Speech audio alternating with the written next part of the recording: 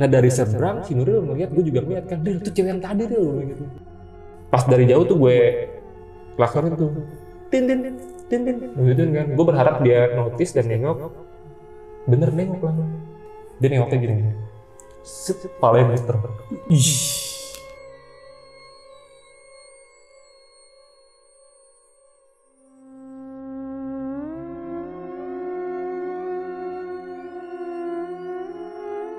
Baru gue mau baru gue ngambil bantal si Nuril tuh kayak orang teriak.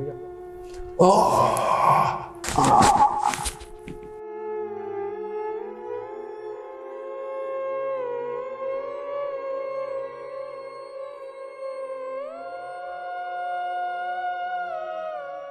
Assalamualaikum warahmatullahi wabarakatuh. Salam sejahtera untuk kita semua. Kembali lagi di Lonceng Misteri. Masih bersama gue Gilang Aditya Dan malam ini, ini malam banget nih Jam setengah satu. Gue kedatangan seseorang yang bakal nyeritain pengalaman horornya Ketika dia pergi ke Kalimantan Barat Tepatnya di Singkawang ya. Jadi waktu itu dia ke Pontianak nih. Terus dia main ke daerah Singkawang Dan dia mengalami kejadian horor bersama temannya di daerah Singkawang itu ya. Tapi ya yang nyeritain gak bakal gua. Yang nyeritain ya di samping gue ini Bang John. Yoi. Bang John yep. cerita lagi akhirnya di lonceng misteri untuk yang kedua kalinya ini. Ini pengalaman yang di mana nih Bang John? Jauh banget nih sampai ke Kalimantan ke Kalimantan nih. Pengalaman di negeri seberang bro. Gila. ini waktu itu lu lagi kerja ya berarti? Oh terjauh kerja? Tahun berapa nih Bang John? 2014 2014 oke itu project apa? Maksudnya gimana nih? Kerja emang emang iseng aja? project sih jadi Heeh. uh, di tempat gue kerja ini buka kantor cabang baru oh I see gue sebagai orang lama dibawa ke sana Iya, iya, iya. Oh ya, lu juga tadi bilang nih bang, di depan tadi kita ngobrol-ngobrol dikit nih. Katanya ini tuh ada hubungannya sama urban legend di sana ya, di Betul. kota si di kota Singkawang. Singkawang ini kota kan, bener kan? Singkawang kota bro Nah ini ada urban legend di sana hubungannya, erat erat hubungannya dengan cerita lo ini, bener ya? betul bang Oke, dan itu tadi ya perbincangan gue sama Bang John singkatnya. Dan telusur gimana bang? Masih aktif bang sampai sekarang bang? dong Aktif terus ya, makin gila. parah sih syutingnya Makin parah nih. karena ada dua kali syuting di seminggu tuh gue dua kali Hmm, hmm, syuting tayangnya juga ada dua kali juga seminggu dua kali Oke, udah seminggu dua kali sekarang pastinya. Dan buat sahabat lonceng nih, jangan lupa mampir ke channelnya Bang John itu telusur dan telusur ini tuh eh, suatu bagian project dari Lentera Malam juga ya, Betul. Bang John ya. Jadi buat kalian yang memang penonton Lentera Malam itu wajib banget mampir ke telusurnya juga karena di situ ada sesuatu yang berbeda pastinya. Buat sahabat lonceng yang pengen jadi narasumber nih, datang langsung ke studio lonceng misteri. Caranya gampang banget, apalagi kalian nih yang tinggal di Raja Bodetabek, kalian bisa langsung mampir ke Instagram kita di @loncengmisteri. Bisa nge-DM aja di situ, nanti ada yang bales. Ya udah Bang John, kayaknya nggak usah lama-lama lagi nih. Langsung kita mulai aja nih ceritanya.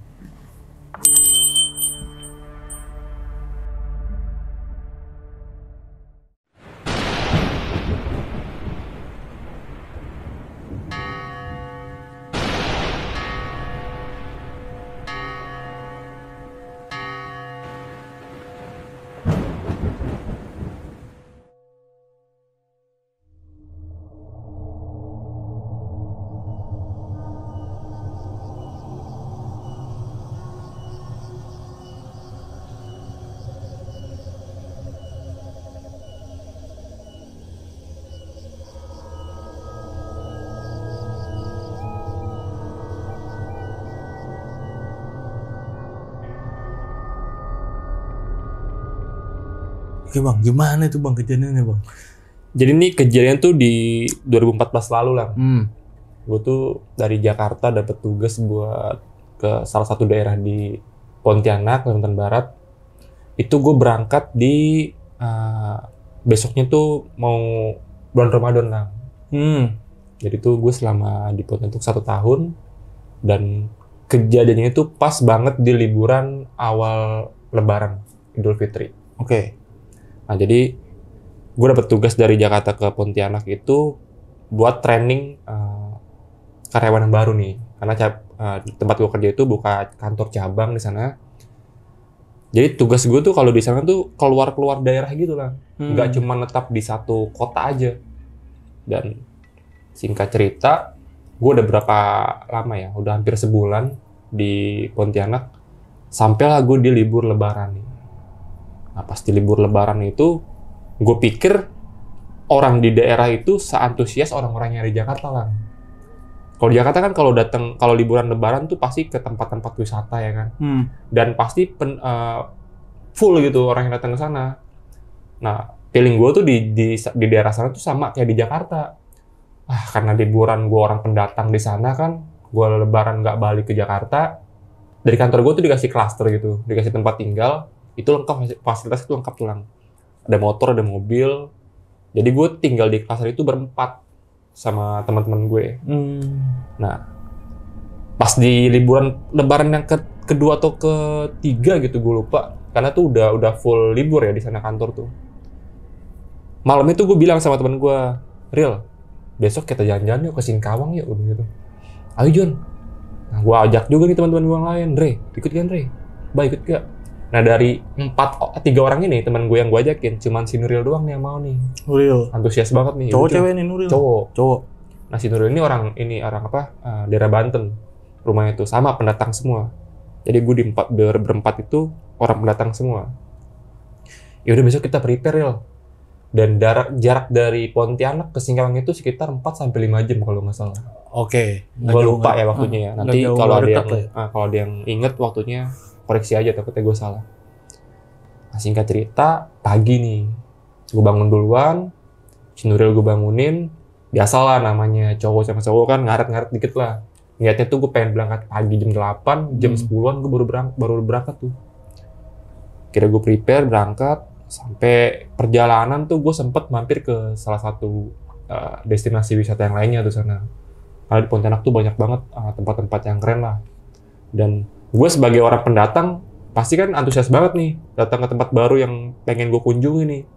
Terus gue mampir di salah satu pantai itu namanya ada Pantai Kijing kalau nggak salah. Itu gue ke sana, foto-foto. Terus gue mampir lagi ke Singka, uh, ke Mempawah.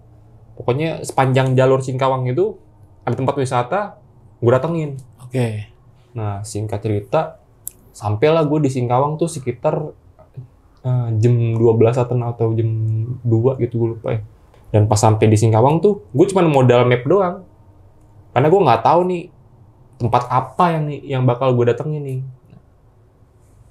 Gue lihat ada gapura gitu kan, tulisannya besar banget.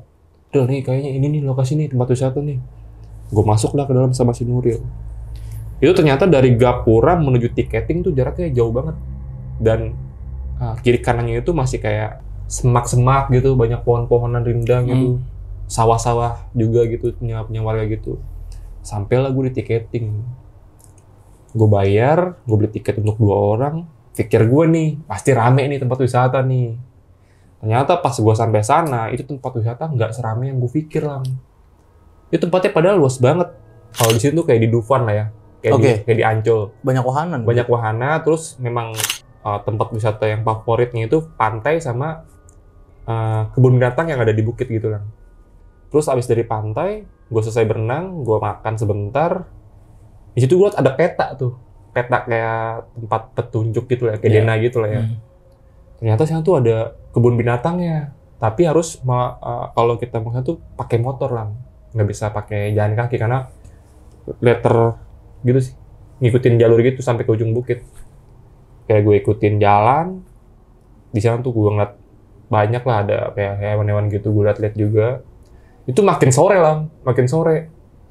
Udah udah udah selesai gue puterin semua lihat peta lagi nih gue dena lagi. Oh ternyata masih ada bukit di atas nih gue pikir kan. Hmm. Del gas gak Del gas terus John bilang. Dan salahnya gue gue tuh prepare tapi gue nggak bawa center Yaudah John kita ke ujung aja coba yuk. Bukit penasaran juga nih gue ya kan. Nah sampailah gue di parkiran motor ini pas sampai pa- parkiran tuh apa ya gue ngeliat cuman ada motor gue doang di situ Hmm, Sepi banget itu. sepi gue bilang wah sepi sepi real gas ya Ri. terus John gue bilang gue belum masuk ke daerah dalamnya tuh karena kan memang dari parkiran ke dalam tuh luas gue cuman modal penasaran sama petunjuk yang ada di sana aja gitu kan puncak ke arah atas Hmm. ada kayak tanda panah gitu kan gue mulai jalan nih dan ternyata ketika gue udah melewati gerbang gitu di sana gue banyak kayak wihara-wihara tau gak sih lu? kayak etnis-etnis Tionghoa gitu. Ya tepikong. Ah. Kalau di Bangka nyebutnya tepikong. Karena kan memang Singkawang itu terkenal sama kota Amoy. Kalau orang sana tuh bilangnya. Jadi Oh, banyak orang-orang etnis Cina yang di sana kan. Ternyata pas gue udah masukin Gapura itu, gerbangnya lumayan besar, Rame lang.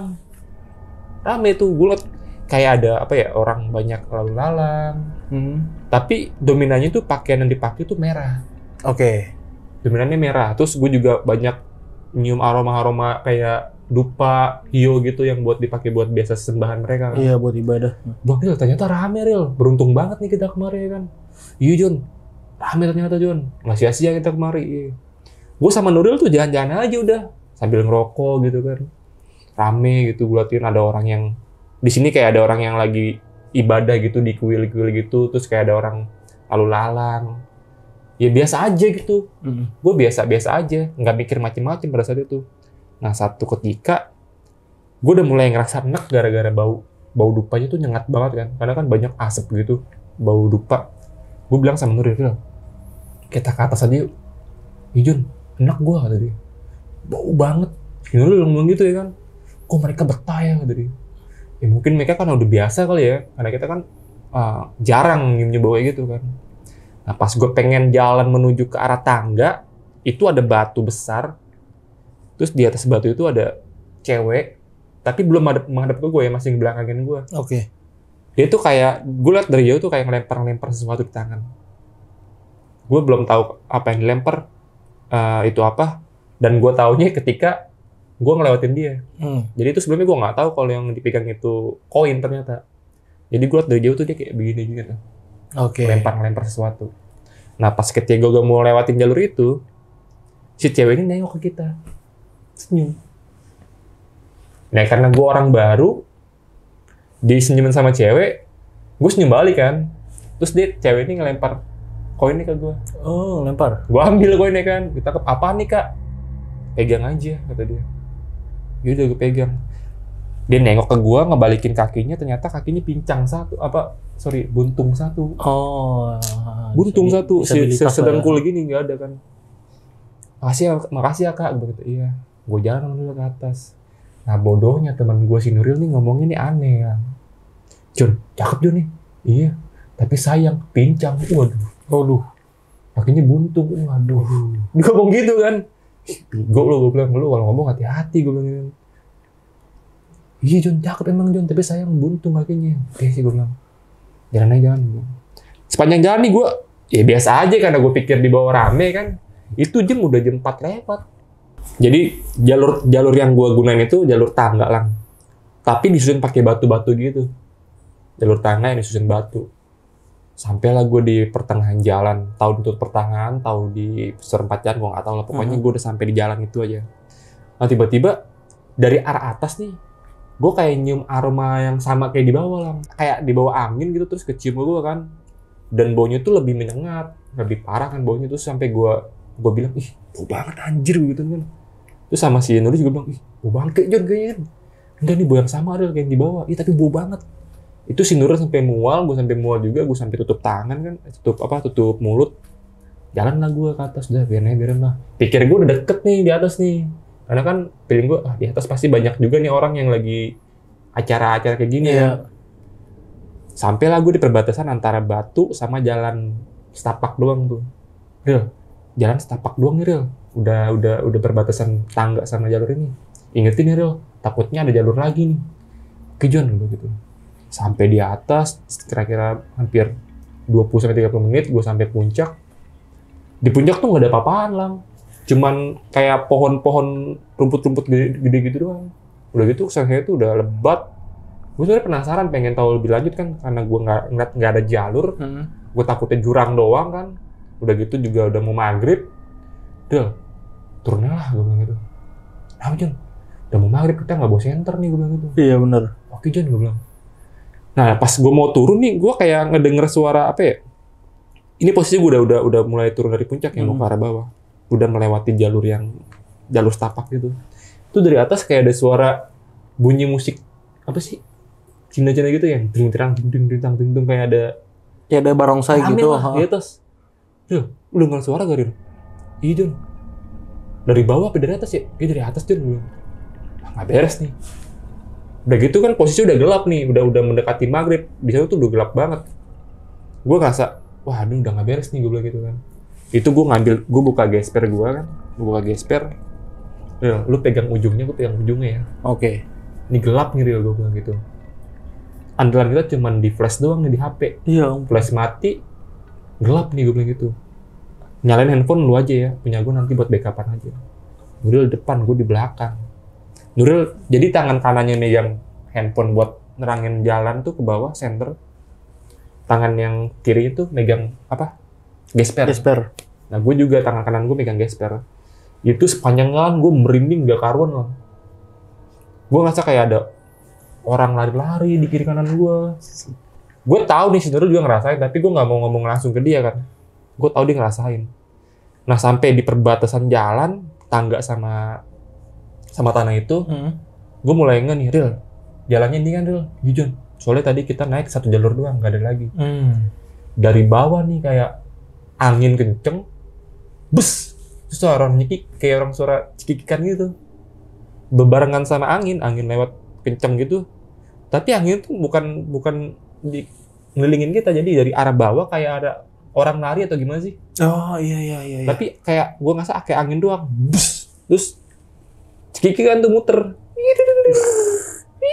Muter. Lu udah panik gue panik ternyata Jun diem diem jangan aja. Gue tahu sih Nuril takut gue juga takut karena berdua doang kan dan gue nggak tahu tuh di bawah tuh sampai berapa lama lagi karena gue udah udah panik lah. Hmm. tuh muter tuh suara itu ciki kan. Kayak kayak ngelingin gue gitu ketawanya pikir gue nggak lama kejadian itu baunya tuh muncul lagi dari bawah lang wah cium lagi nih baunya Lil. kayak udah deket di bawah nih. Akhirnya pas serang beberapa lama gue jalan di bawah tuh sepi banget lang Gak ada yang nggak ada satupun orang. Gue bilang, ih Dril, cepet banget rubah. Eh hilangnya gue gitu kan. Pikir gue gini wah ini dia gue baru nyadar gini lang. Kalau misalnya nih orang jalan cuma satu-satunya ke sini pasti kan dia lewat parkiran motor yang gue parkir motor tuh. Iya. harusnya ada beberapa motor dong. Ada motor juga pasti ada mobil juga kan. Nggak mungkin dong dia datang ke puncak itu jalan kaki rame-rame Hmm. kan nggak mungkin kan. Gue baru sadar tuh di situ. Ih, tadi di parkiran motor kagak ada motor tapi ketika sini rame. Dan ketika gue turun tuh kosong hening banget. Cuman suara jangkrik tau gak sih lu? Baunya makin nyanter Nuril lari. Jon lari Jon lari. Gue nguber kan gue nguber Nuril. Nuril megang flash gue nggak megang. Gue ikutin aja sampai parkiran motor. Jon sepi Jon sepi Hiril. Sayangnya itu tempat wisata itu minim minim penerangan bang karena kan memang di bukit kan Hmm. minim penerangan cuman ada lampu pijar yang satu di sini nanti berapa meter ada lagi gitu kan. Itu sepi banget. Gue nyalain motor gue liat situasi "Ih, sepi juga ya kan gue pikir. Sepi. Daril ayo jalan Daril gue baca baca doa doa dalam hati gitu kan buat perlindungan gue dan jarak dari atas ke pantai itu juga jauh lah lumayan jauh banget. Turun lah gue naik motor sama Nuril Ah, harusnya tuh kalau turun tuh gue memang jalur gue nih jalur turun nih Hmm. jalur sebelah itu jalur buat naik Tapi tanah-tanah ini apa aspal? aspal, Aspal. itu udah udah pas udah situ udah aspal nah dari seberang si Nuril ngeliat gue juga ngeliat kan Ril tuh cewek yang tadi Ril gue bilang gitu Oh oke. gue pikir itu memang wah berarti bener orang nih ya kan cewek yang tadi Ril tapi bedanya itu ya pas gue lihat dia sama bapak-bapak lah Hmm. dia nggak sendiri jadi dia tuh di jalur arah orang mau naik tapi dia turun lewat jalur itu. Nah Hmm. posisi gue tuh emang bener di jalur turun. Jadi ada dua jalur gitu kan. Pas dari jauh tuh gue klaksonin tuh. Tin tin tin tin. Gitu kan. Gue berharap dia notice dan nengok. Bener nengok lah tapi pas nengok tuh lu tau gak pas gue klaksonin dari jauh cuman cahaya penerangan doang sama lampu tembak motor gue dia nengoknya gini nih. Set palanya muter. Badannya enggak? enggak Ih. Palanya muter. Tuh Nurul langsung Jon lari Jon ngebut ngebut ngebut. Itu mukanya beda yang tadinya gue liat cakep. Itu dagu panjang loh Iya, dagu panjang. Tapi bapak-bapak yang samping ini yang gue liat tuh gue nggak nggak ngeliat mukanya karena eh, dia nggak nggak nengok. Cuman bentuknya memang bapak-bapak. Pakaian biasa ya. Pokoknya seorang pria lah itu bapak-bapak entah itu masih muda gue nggak tahu. Tapi yang nengok nih si ceweknya ini doang. Dan ceweknya ini nggak terlalu tua. Kayak masih umur belasan lah kayak masih ABG ABG gitu. Tapi cakep memang ya. awalnya cakep. Awal cakep. tapi pas muter pala itu gue udah gila sih. Ngebut Jon, ngebut ngebut. Jalur tuh muter ya kan? Mm-mm. mungkin gue karena panik gue nggak mikirin celakanya kan. Udah gue labas ya. Tet, gue labas aja tuh. Jon, Jon, Jon, pelan pelan pelan pelan pelan jurang kan kiri kanan ya kan? Iya. singkat cerita sampai gue di pantai lah di pantai gue udah ngerasa aman karena ada mobil yang siap-siap mau keluar nih Hmm. siap-siap mau keluar gitu kayak lagi prepare lah kayak misalnya ada rombongan gitu anak muda abis abis wisata terus dia mau balik juga kan. Gue samperin tuh dengan posisi gue yang ketakutan gitu kan. Bang kak mau ke bawah apa mau naik kak? Mau pulang bang kenapa emangnya? Kita boleh nggak ngikut dari belakang gitu? Kalau nggak dari depan deh gitu? Kenapa emangnya? Nggak apa-apa takut saya gelap soalnya gitu. Nggak tahu jalan sini juga. Bang dari mana bang? Dari Jakarta. Oh yaudah bareng aja gue sudah jalan duluan sama dia. Udah bang. Abang jalan duluan aja. Nanti saya center dari belakang. Baik banget nih orang orang mungkin kalau dia masih nonton inget gitu ya kan? Iya. ya thank you banget lu udah ngebantu gue jadi tuh gue jalan pelan-pelan di sentra malah dari belakang. Itu jaraknya lumayan jauh tuh dari tempat. Sampailah gue di gapura pertama yang gue masuk tuh. Gue berhenti. Gue bilang makasih dong kak. Makasih ya bang. Makasih ya. Kakak mau ke mana? Saya mau balik ke Pontianak. Gitu. Oh yaudah oke gue ngambil ke kiri nih Del, kemek dulu gue lapar gue bilang iya Jon gue ke arah kiri jadi ke arah kiri tuh Singkawang arah kanan tuh Pontianak Hmm. Oke Jon, makan dulu aja. Gue ke arah Singkawang tuh. Belum sampai Singkawang, gue nemu tukang bakso. Dil, makan bakso enak kali ya. Iya Jon. Ngobrol kali gue sama, sama Nuril nih. Iya Jon, di atas Jon, lu sih batu. Gue bilang, Jon. ngomong nggak salah-salan. Gue bilang. Ngomong nggak salah-salan. Gue bilang. Iya Jon, parah ya. Gue bilang. Pokoknya gue cerita-cerita lah. Tukang bakso notice nih. Dari mana bang? Singkawang di bukit itu bang gue lupa nama bukitnya apa kalau nggak salah rindu alam atau apa gitu. Bukit Rindu Alam. kayaknya sih rindu alam sih Hmm.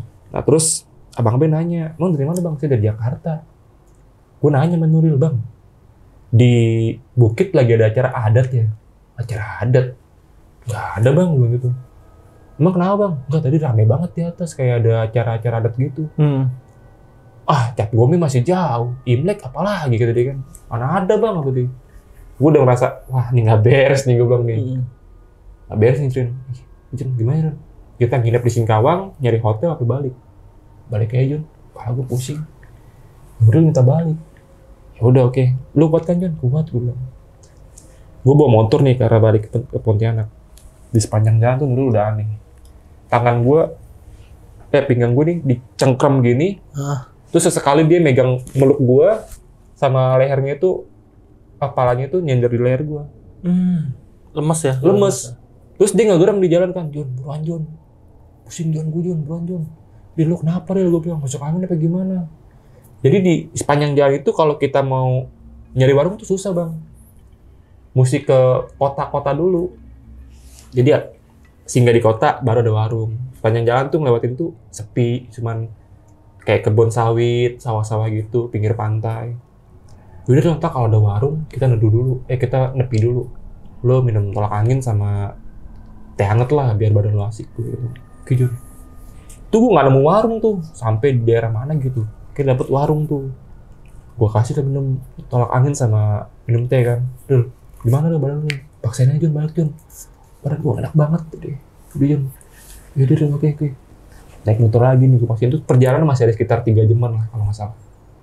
Sepanjang jalan sih sebenarnya kayak orang Jon buruan Jon balik John, gue udah gak kuat John, sakit John badan gue. Yaudah deh, gue udah panik ya kan, panik-panik ya lah. Singkat cerita, sampailah gue di Pontianak nih. Di rumah tuh belum tidur tuh teman-teman gue kan, si Andre sama si Abai. Gimana jalan-jalan lo bos? Enak bos. Enak pala lo, gue bilang, oh sakit lo temen lo gitu kan. Udah itu gue tinggal ke kamar mandi, Nuril tepar. Gue selesai mandi, Andre nonton TV, tidur nih nanti gue pengen tidur kan baru gue mau baru gue ngambil bantal si Nuril tuh kayak orang teriak oh tapi tangan Hmm. ya Ril, kenapa Ril? Jon kenapa Jon? Gak tau gue Ben, gak tau gue bilang pegangin sama si Andre tangannya jadi tuh si Nuril kayak pengen ngecek diri sendiri tau Hmm. tangan mungkin dipegangin sama Andre Jon gimana Jon si dari dari teman dari tiga orang ini eh, dua dua orang teman gue ini si Abe sama si Andre. Si Andre ngaji tuh dibaca-baca sama si Andre. Jon bantu tolong aja sama tetangga Jon itu posisi udah hampir jam sebelasan malam lah. Udah jam sebelasan malam. Akhirnya gue keluar nih ke rumah tetangga sebelah kan ngetok pintu pak di sini yang bisa nanganin orang ke, ke kerasukan di mana ya? Wah kenapa emangnya mas? Teman saya tuh pulang dari Singapura langsung kayak begitu Hmm. coba aja ke Pak Haji, Pak Haji. Situ di, di apa eh, orang Madura tuh di warung katanya. Pak, saya nggak tahu tempatnya Pak. Gitu. Yaudah yuk saya anterin. Ya, ambil motor saya anterin nih. Diboncengin gua kan. Sampai sana, gua ke rumah itu Pak. eh, mohon maaf Pak, bisa minta tolong. Teman saya itu di rumah kerasukan Pak. Di mana? Di rumah Pak di klaster gitu, di klaster Ajura gitu. Oh yaudah ayo kata dia. Dia ngambil motor, gue jalan duluan nih. Hmm. lama dia nyampe tuh. Udah akhirnya nih sama si Pak Haji ini nih yang orang Madura nih. Di ngajiin nih. Di ngajiin terus udah kelar tuh masih dipegang tuh. Jadi tuh dia berontak tuh kayak lo masih yang masuk tuh kayak B, udah kelar satu nih. Hmm. Tiba-tiba berontak lagi tapi eh, gimmicknya tuh atau mimiknya tuh beda. Yang awalnya suara serak, terus Hmm. ketawa-ketawa, mainin rambut, terus kayak orang lompat-lompat begitu. Jadi habis dimasukin, diobatin, jeda sedikit, masuk lagi, masuk lagi, masuk lagi gitu. Sampai nih Pak Ustadz ngomong begini, Mas ini banyak banget Mas yang masuk Mas, kata dia. Pusing saya nih kalau begini caranya nih, kata dia. Tadi tadi emang ngapain di sana belum gitu. Gue belum cerita tuh sama dia kan. Iya Pak, tadi kita habis dari Singkawang terus ya tempat wisata gitu begitu. Ini banyak banget nih yang mau masuk nih. Di luar tuh udah ngantri kata dia. Bus. Itu dari ternyata tuh kalau kata si Pak Ustadz itu Pak Bapak yang gue temuin itu yang dari gunung itu semuanya pada ke situ semua. Pada udah ngantri pengen pengen masuk ke si Nuril ini. Udah tuh, wah gila gue bilang, gimana nih Pak? Udah nanti kalau misalnya udah sadar nih udah mendingan di standby aja jangan jangan tidur jangan yang tidur ya kata dia emang kenapa takutnya dia ngamuk lagi udah akhirnya si Nuril udah agak redahan nih Hmm. ditanya lah sama si bapak ini kan tadi ada yang bilang ada yang bawa sesuatu sesuatu apa eh, bawa apaan sih kata dia gue belum belum apa belum mikir belum notice nih apaan nih gue bilang gitu soalnya tadi ada yang nyampein ke saya ada yang bawa sesuatu dari sana oh koin pak begitu Oh, koin yang di iya. koin yang dilempar itu Iya. jadi gue inget nih saya inget gue gue habis dikasih koin Mhm. gue kasih si Nuril sama Nuril taruh kantong Iya, koin itu ya. Iya. Oh, koin Pak, bilang gitu. Koin apa? Tadi enggak saya tadi dikasih koin sama orang di sana, gitu. Coba cari dulu tadi. Dalam posisi si Nuril yang udah tepar nih, gue periksain semua tuh celananya. Tasnya gue periksain, deh coba deh cari di tas, Dre. Agak ada tuh lah, nggak ketemu juga kan.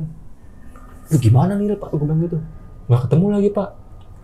Yaudah nanti kalau misalnya dia sadar, coba tanya deh sama temennya, naruhnya di mana. Hmm. Nar- Naruhnya di mana gitu kan. Tapi Nah, tapi Bang, koinnya ini bentuknya apa, Bang? koin Cina. Lo tau koin yang tengahnya bolong tau sih? Oke. Nah, Tahu. ya kayak gitu. Udah gitu, eh, pas pas si bapak ini ngomong kayak gitu, nggak lama pengen, ini bapaknya udah pengen arah cabut ke ruang tengah nih, arah pengen balik. Kambuh lagi si Nuril. Oh. Nyekek diri lagi ya kan. Nyekek-nyekek diri lagi. Jadi tuh, kalau kata si bapaknya tuh, ini dia tuh eh, fatal banget gitu yang diomongin sama Nuril, fatal banget. Kayak ini dia ada sesuatu juga yang entah itu bikin bikin penghuni sana marah atau gimana gue nggak tahu ya. Ya. Pokoknya kalau kata si Ustadz ini ada sesuatu yang bikin penghuni sana marah gitu kan. Ya kalau gue sih nanggepnya karena si Nuril frontal nih ngomongin Iya, asal-asalan nih. Karena emang sepanjang jalan tuh juga dia paling bacot kayak ngomong anjing segala macam diomongin gitu. Kayak ada suara ada ada bau terus dibilang bau bangke Jun nih anjing bau bangke kayak kayak kayak nyepelin gitu awal-awalnya. Dan akhirnya diobatin lagi nggak lama sembuh ini dia minta minta dibalikin kata dia. Minta dibalikin. Gue gue nanya kan balikinnya gimana pak? Dibawa ke sana. Nggak mungkin kan tengah malam juga gue balik balik ke sana kan? Bener. yaudah berdoa aja semoga nih anak uh, sadar. Udah akhirnya nggak lama nih dia tidur sih Nuril tepar nih. Gue Andre tuh ganti-ganti tuh Andre jangan tidur Andre gue takut di kambuh lagi. Iya John udah tuh akhirnya gue sama Andre ganti-gantian tuh. Alhamdulillahnya pagi-paginya tuh sampai pagi tuh si Nuril nggak nggak bangun-bangun tuh sadar tuh. Cuman pas sadar si Nuril ini kayak orang nggak tahu kayak nggak punya dosa tau gak sih lu? kayak seger aja gitu bangun pagi-pagi.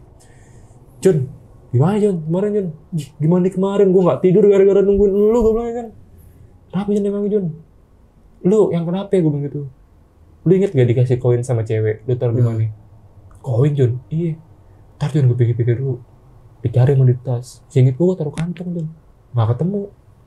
Nah ketika gue pengen jalan nih pengen gawe ternyata koinnya itu ada di dashboard motor tau Yang di samping itu, Nah. samping-samping kiri kanan. gue gak tahu si Nuril naro itu dengan kondisi sadar apa enggak. Pokoknya tuh koin ada di situ. Di apa? Di dashboard motor itu. Hmm. ya ini koin yang dimaksud nih gue bilang. Tapi untungnya sendiri udah gak kenapa-napa kan. Nah siangnya tuh dia cerita Jun lu tahu nggak Jun? Kenapa sepanjang jalan tuh gue teriak-teriakan sakit? Kenapa Ril namanya nih di leher gue nih Jun. Panjang jalan dari Singkawang sampai Pa- sampai Pontianak. Nih tangannya tuh gede nyekek leher gue Jun. Jadi itu dia nggak mau cerita sepanjang jalan sama gue jadi itu sepanjang jalan dari Singkawang ke Pontianak tuh, tuh tangan ada di nyekek Iya, dia. leher ya. pantesan nih anak kok teriak-teriakan mulu. Tapi dia nggak mau bilang sama gua kan. Terus gue bilang gini, Ril. Terus gimana, Ril? Eh, sepanjang jalan tuh lu ngerasa gimana? Ya gue ngerasa sakit doang, Jun. Nah sama pas malam, tuh gue inget banget disamperin sama cewek, Jun. Habis itu gue udah gak sadar lagi. Bangun-bangun pagi gue ketemu lu. Jadi si Nurul ini pagi-pagi, eh pas sebelum dia eh, teriak-teriakan tuh, dia ngeliat cewek dari pintu masuk, digandeng sama bapak-bapak, Hmm. tapi jalannya pincang gitu langsung nabrak dia begitu dia udah gak sadar lagi Gila. Udah. akhirnya tuh koin gue bawa nih ke bapak Madura itu pak ini koinnya pak. Titipin pak. Gitu oh ini yang di, yang dicari-cari mas kata dia. Cari-cari. iya. Dan yang parah lagi tuh kata si bapak itu yang yang nggak masuk akal ya. Semua penghuni gunung tuh ngantri coy pengen masuk ke Nuril. Nggak tahu tuh maksudnya apa nggak tahu gue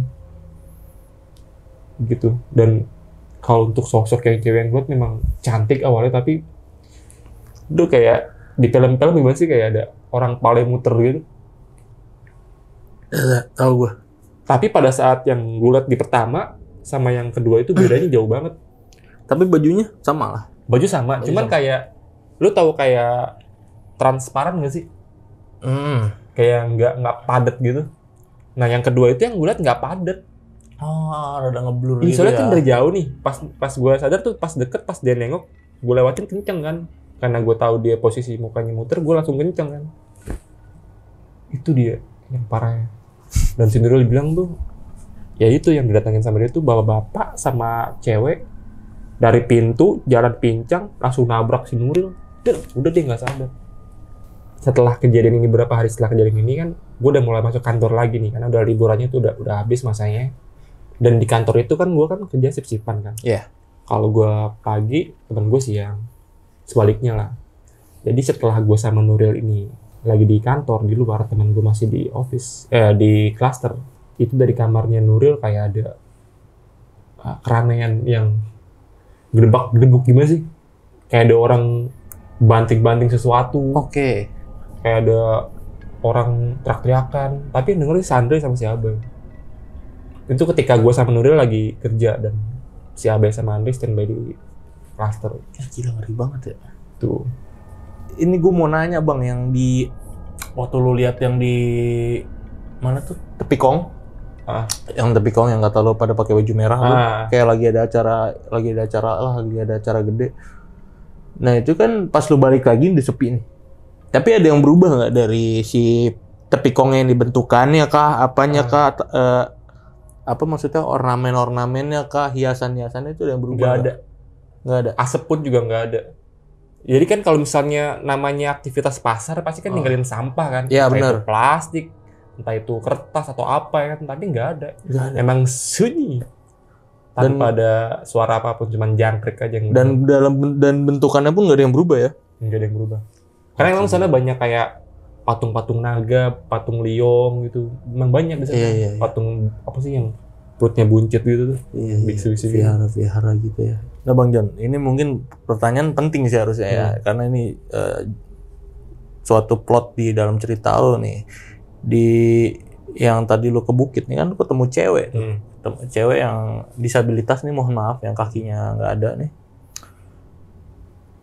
lu dapet cerita lu dapet cerita nggak dari nih cewek nih karena lu kan setahun Oke. tinggal sana Eh, jadi gini lang setelah uh, setelah kejadian ini kan gue memang ditugasin lagi nih memang bener-bener Ah. buat uh, stay di kota Singkawangnya. Hmm.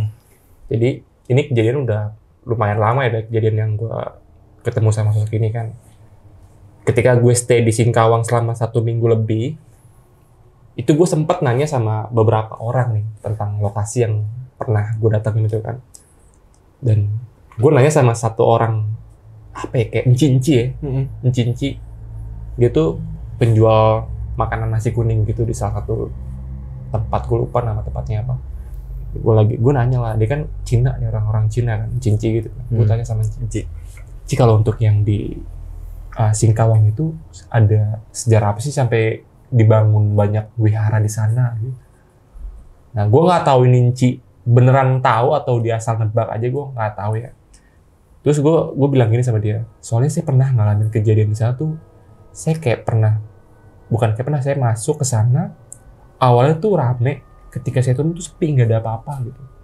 Dan saya juga di sana ketemu sama cewek yang kakinya tuh pincang gitu Hmm. sebelah kanannya pincang. Terus orangnya cantik umurnya masih belasan tahun lah terus ketika pas ngeliat keduanya tuh posisinya tuh dia udah mukanya beda gitu panjang gitu dan Cini ngomong gini oh itu mah udah udah urban legend kalau kata dia wah itu mah udah Dia ceritanya lah cerita di sana ya. Iya. Jadi eh, kalau kata Shinji ini, tuh cewek memang masih masih remaja coy. Sebelum adanya tempat wisata kayak gitu tuh pernah ada perkampungan kalau kata di sana. Gue nggak Oh. tahu ini bener gitu atau salahnya. Oke. Ya, mungkin nanti yang tahu ceritanya bisa komen lah ya. Iya tuh, kita butuh banget nih jawabannya nih yang orang asli Singkawang nih. Di tempat itu udah ada, ada apa dulunya?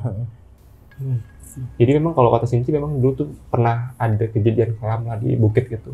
Ngeri banget ya. Nah, itu tadi dari ininya ya, dari mungkin eh, dari backstory dari tempat ininya ya, tempat wahana-wahananya, tempat hiburan, tapi nggak tahu bener enggaknya. Dan koinnya, koinnya mana? Nah, kalau untuk koin tuh Nuril yang bawa. Koin yang bawa. Nah, jadi gini juga lang, ada mitosnya yang benar atau enggak. Shinji ini tuh ngomong, Mas, kalau kesan tuh ngelempar koin buat buang sial. Ini lu yang dilemparin koin. Iya. Ya kan gue nggak tahu kan. Ya gue mah namanya orang baru gue terobos-terobos aja kan. Itu beneran harus buang koin ya berarti ya di daerah situ ya. kalau- Mau naik bukit. Wah, untuk itu gue juga belum tahu mitos itu benar atau enggak. Yang jelas si Uci ini ya karena gue percaya yang pertama dia etnis Cina nih. Nah, kohar. Nah, dan yang kedua, Uci ini tuh udah tua. Nggak mungkin dong orang tua bohong, ya kan? Iya juga sih. Ya kan? Heeh. Ya mungkin yang dibilang sama dia ada benar atau atau enggaknya yang tapi gue percaya sama si Uci ini gitu. Kalau misalnya ke sana tuh harus buang koin buat buang sial katanya. buang koin dalam artinya duit tak berat bapak Iya. gopean kayak penting koin Hmm. nih Iya, gokil kalau kayaknya banyak banget di di mana ya di Indonesia nih banyak banget yang kayak gitu-gitu Iya. Ke mau lewat ini buang rokok lah Ah. mau lewat ini buang apa lah buang Ya mungkin itu buat tandain kalau mau beli atau apa gitu. iya ya kan karena lu rame ya kemarin lu lihat di situ kan rame lu datang rame pas turun sepi itu dia Rame, tuh ngeri banget sih ini, ini, ini pengalamannya unik banget Singkawang ya kita baru Singkawang pertama kali nih dapat cerita dari Kalimantan nih, dari Singkawang. 2014 bro. Nah Bang Jan, tapi lu masih pernah balik lagi nggak ke sana? Setelah kejadian itu ke Singkawang terus ke daerah itu ke bukitnya naik lagi gitu. Karena lu penasaran kayak apa kayak kepo kayak. Hmm, pernah ke sana di masih di tahun yang itu tapi gue nggak sampai ke bukitnya cuma di pantainya aja. Ah di pantainya Hmm. aja. Gue kira lu balik lagi ke bukitnya gitu Enggak, kan itu rame-rame tapi gue berlima atau berempat gitu. Tapi gue nggak sampai bukit karena gue trauma bro. Oh iya sih. Gue ngeri takut masih ada yang nungguin gue di sana bro. Itu yang kena Nuril coba Iya. ya waktu itu. Jangan gue lah anjir. Gak bisa pulang nanti gue yang ada. Nah, itu tadi cerita dari Bang John ya tentang eh, tempat hiburan di Singkawang ya yang ternyata horor juga ya itu eh, pengalamannya luar biasa epicnya dan sangat unik. Buat sahabat ponceng nih yang udah nonton videonya dari awal sampai habis tulis di kolom komentar ya gimana pendapat kalian dan bagi kalian nih eh, jangan lupa nih mampir ke channelnya Bang John itu telusur ya Bang ya itu Telusur. masih upload terus kan ya sampai sekarang nih Seminggu dua kali bro. seminggu dua kali loh sekarang gokil Hari Kamis dan hari Minggu. bakal ada yang baru lagi nggak nih apa nih apa nih Yang yang baru-baru nih. kemarin parah-parah sih. syuting syuting kemarin parah parah tuh kalau untuk yang paling seru nih nanti nih yang bakal tayang tuh kayak uh, episode pemadam kebakaran. Pemadam kebakaran. Wih, itu tragis bro. Hah? Tragis bro. Gila. Dia ngangkat jenazah tuh yang posisinya udah nyatu dengan hampir nyatu dengan tanah bro. Ih. Jadi tuh dia ngangkatnya tuh pelan-pelan karena kalau Hmm. diangkat tuh ih kayak debu tuh masih lu udah Iya, daging kerenyes. daging setengah matang gitu. Iya, kerenyes. Iya. dan Oh, dimimpiin sama sosok yang ditolong. iya. elah. Datangnya tapi minta terima kasih bro sama si pemadam ini. Nah itu tadi salah satu cerita dari episode telusur dan pastinya itu banyak lagi episode-episode lainnya. Pokoknya sahabat lonceng buruan mampir ke channel telusur habis dari ini. Dan buat kalian yang ingin jadi narasumber datang langsung ke studio lonceng misteri, terutama yang rumahnya di Jabodetabek, langsung DM ke Instagram kita di @loncengmisteri. Dan akhir kata gue Gilang Ahaditya izin pamit. Bang John dari Telusur juga izin pamit. Bye bye.